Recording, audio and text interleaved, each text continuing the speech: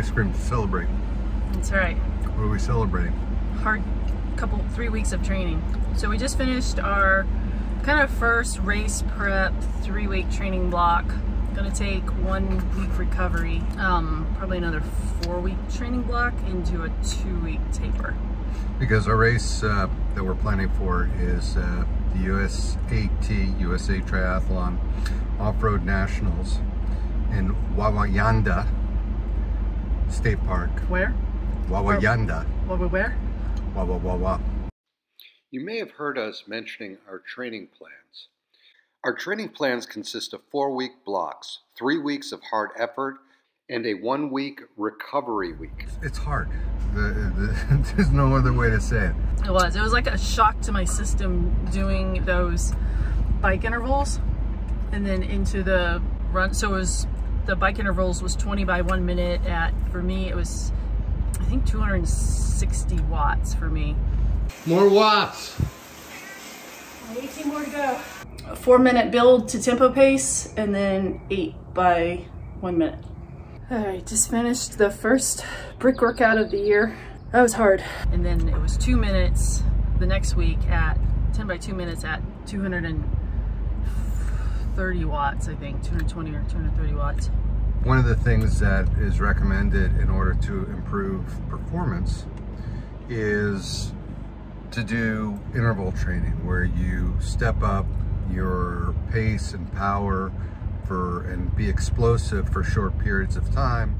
So while Kathy can complete some of the, you know, at, at the prescribed levels of power, I need to start at the prescribed level, but then I'll step down over the course of the workout.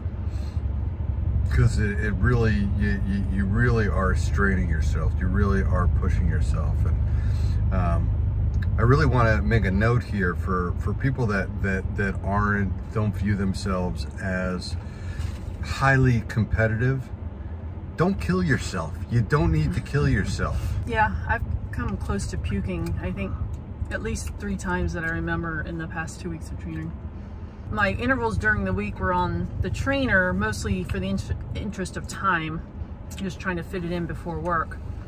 But then the intervals on Saturdays were out on the mountain bike, and I'm actually able to hit higher powers and get keep my heart rate higher for longer periods out on the actual mountain bike. I, I don't know why that is. Laura thinks it's because you're just, it's just too boring sitting on the trainer or something.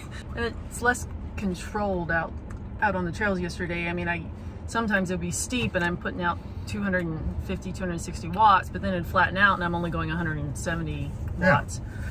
So it was a lot more variation. So I wasn't holding like the same power for 15 minutes on the intervals yesterday. It was where on the on the trainer, I'm it's very controlled and I can just hold that 200, 220 watts for, for the full two minutes. So even though this is an advanced training plan, um, the hours per week for these hard weeks are coming in around 11, 12 hours. I think, I think the biggest training week was 14 hours for from this program. Um, and 14 hours is kind of a little, I'd say it's a little more than what we really realistically have time to do. Yeah, I mean, with that's... our busy lives. Um, even now with the 11, 12 hour block, we ended up doing five or six hours on the weekend. So half of this training is in two days on the weekend because that's just when we have time to do it. Because right. we have very, we both have very demanding jobs.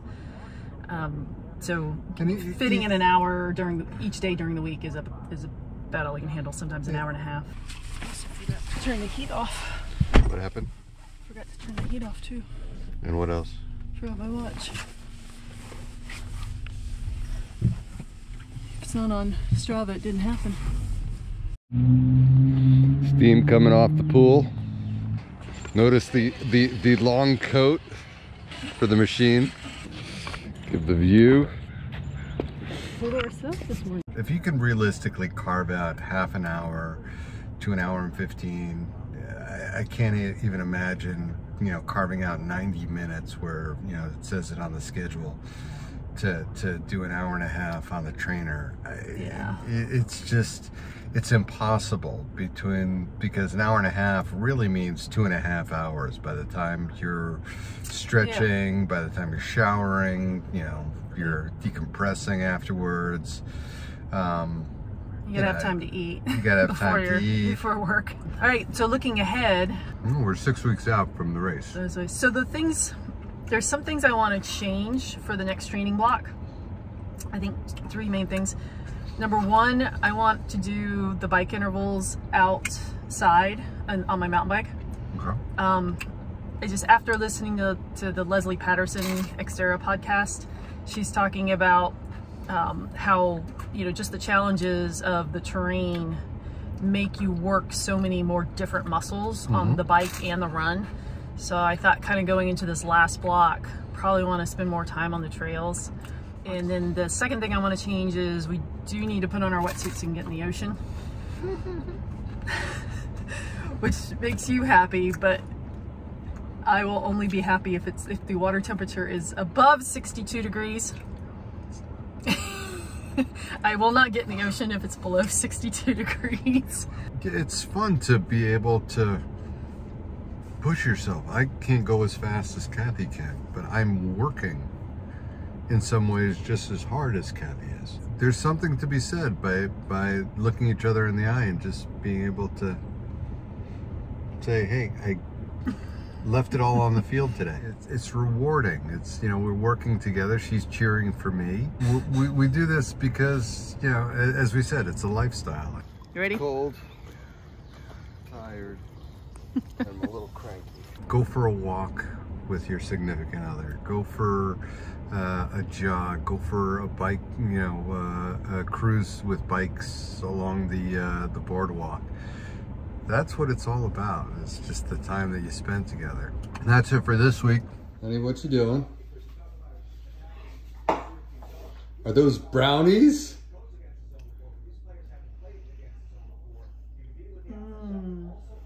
A whole you're gonna eat that whole tray?